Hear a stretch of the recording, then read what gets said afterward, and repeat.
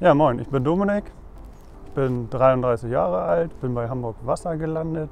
Ich habe hier eine Umschulung zwei Jahre lang gemacht und bin jetzt zwei Jahre lang im Seebezirk West eingesetzt. Ich arbeite bei Hamburg Wasser als Fachkraft für Abwassertechnik. Ich habe mir diesen Beruf ausgesucht, weil ich gerne was für die Umwelt tun möchte. Ich habe nämlich eine kleine Tochter und die soll natürlich in einer schönen Welt aufwachsen. Ich kümmere mich hauptsächlich im Seebezirk West darum, dass das Abwasser vom Haus sicher zum Klärweg gelangt und nicht irgendwie ins Grundwasser sickert.